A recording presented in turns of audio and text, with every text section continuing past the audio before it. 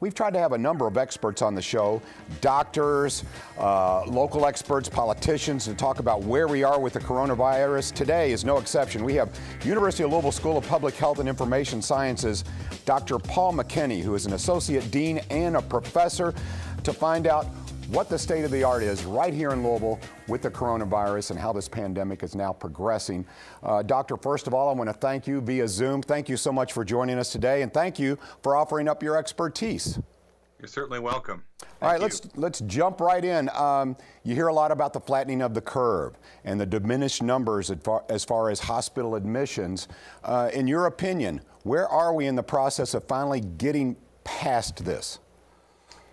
Well, we're, we're certainly uh, appearing to move in the right direction. Uh, in, in terms of local information, it's not entirely clear yet that we've hit the plateau. Uh, there are some projections from the, the groups that do modeling uh, for incidence of uh, the disease across the country that suggest Kentucky will peak out today.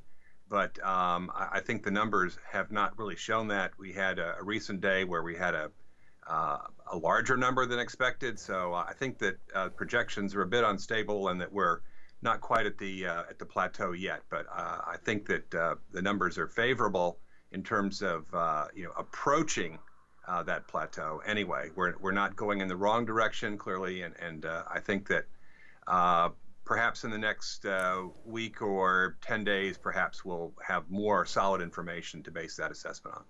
Doctor, I'm curious because I think people like you, experts like you, have done a really good job of educating the public in social distancing and the importance thereof. However, businesses now are applying pressure to local leaders and saying, look, we have to get open, we have to make money. Uh, so I can understand both sides of the equation.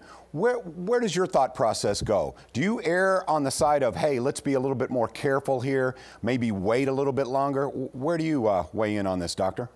Well, obviously, we're going to have to to open up at some point in the future. We can't be uh, locked down in society forever, but we need to do it when there's there's clear evidence that um, things are at a stable stable state and that we have uh, the number of infections under control. So um, I, I, think that I would I would have to agree that we need to see uh, evidence of a decline uh, in the numbers, uh, that we are on the downside of the curve, so to speak, and that we have uh, measures in place uh, for things like uh, ongoing social distancing if, uh, if and when uh, activities do begin to open up, that people adhere to those and uh, adapt to the new routine, which will probably include things like wearing masks that people have not been used to in the past. Dr. McKinney, I also want to know your opinion on. There's been a you know a long history of viruses in this country and around the globe: Spanish flu, Ebola. Where does this virus fit into that equation? As far as historically, when people look back generations from now at the coronavirus, uh, how I guess you know how many deaths involved? How does it kind of compare to other viruses that have affected the world? Well, if you're talking about number of deaths, um, this is not anywhere close to what the impact of the Spanish flu was in 1918.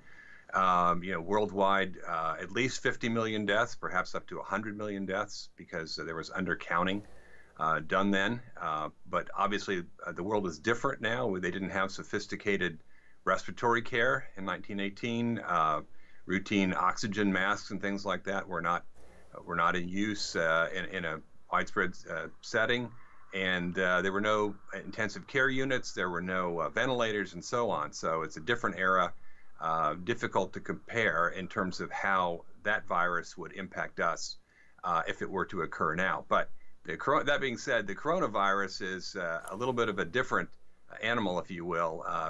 influenza was pretty much a uh, a respiratory uh, virus uh, only. We know now that coronavirus has impacts on other systems as well, certainly on the heart, on the kidneys, on the GI tract at least. I think the consensus, Dr. McKinney, is that Governor Beshear has done a really good job of making Kentucky kind of move to the forefront, being proactive. How do you think Kentucky as a state compares to other states in the reaction that they've had with coronavirus?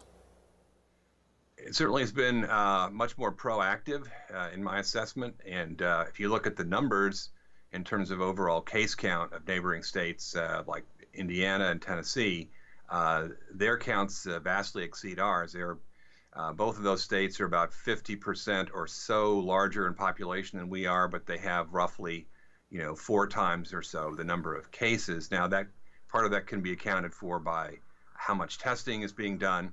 Uh, so the final answer isn't in, but it certainly uh, suggests that the measures that have been in place here have been effective and have helped to uh, reduce our numbers.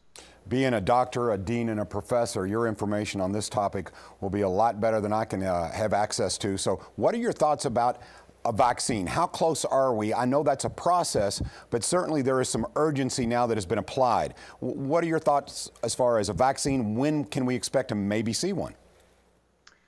Well, I think the most optimistic projections are around uh, a year, roughly 12 months, something like that. And the reason for that is not that the vaccine has to be made because it's already out there, it's being tested, but we have to demonstrate, first of all, uh, that it's efficacious, that it produces the right antibody response, and that those antibodies are protective, and two, that it's safe. Um, and, and those are tall orders because you have to have enough people tested, and that's really what the time uh, lag is getting the test done in, in an incremental fashion. You do basic safety tests on a small number, and then you ramp up the number and you do antibody tests and make sure there are no adverse reactions.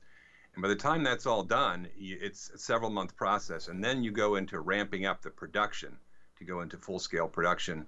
And uh, once we're there, uh, I think the process will proceed pretty smoothly.